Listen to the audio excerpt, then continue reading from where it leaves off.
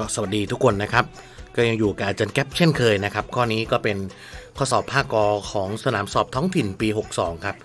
ข้อนี้โจทย์ถามว่าเขามีเงินเขาจะออกรถยนต์ เขาไม่ออกรถยนต์ ดังนั้นจริงๆจะมีคำว่าดังนั้น เพราะว่าด้วยนะอสอดคล้องกับข้อใดอะไรเงี้ยมันจะมีลูกลับตรงนี้นะครับ แต่ช่างมันเถอะนะข้อนี้เขาถามว่าเขามีเงิน เขาจะออกรถยนต์ เขาไม่มีรถยนต์เขาไม่ออกรถยนต์ ดังนั้น นะครับ เรื่องนี้ก็ไม่มีคำว่าทุกข์กับคำว่าบาง น้องจะต้องแบ่งประโยคให้เป็นนะครับ เขามีเงินเนี่ยให้เป็นเลขหนึ่งเหมือนแหละมาอีกแล้วใช่ไหมอย่างที่บอกใครไม่รู้จะต้องศึกษานะครับ ต่อไปเขาจอกรถยนต์นี่คือเลขสองนะนี่คือโจทย์หนึ่งไปสองต่อมาครับ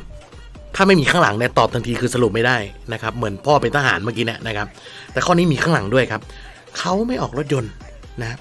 คำว่าเขาออกเนี่ยเขาออกออกรถยนต์เนี่ยนะครับเป็นเลขสองใช่ไหม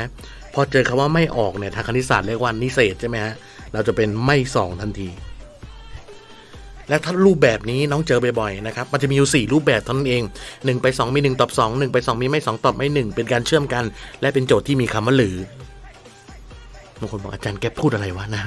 นะถ้าใครเป็นลูกศิษย์อาจารย์เนี่ยจะได้ยินคำนี้บ่อยมากนะครับ อาจารย์จะพูดว่าออกข้อสอบทุกปีนะครับ อย่างข้อนี้น้องเจอแพทเทิร์นแบบนี้ 1 ไป 2 มีไม่ 2 ตอบครับ ตอบเลย ตอบไม่ 1 ครับ ไม่ 1 ตอบไม่หนึ่งคืออะไรอาจารย์ น้องก็กลับไปดูประโยคเลขหนึ่งคืออะไร ประโยคเลขหนึ่งคือ เขามีเงินนะครับ ตอบไม่หนึ่งคือตอบช้อยที่เขียนว่าเขาไม่มีเงินครับ ข้อนี้ตอบ เขาไม่มีเงินครับ ฟันธงนะฮะลองไปดูได้เลยนะครับ ในการฝึกฝนเรื่องโจทย์พวกนี้นะครับนะ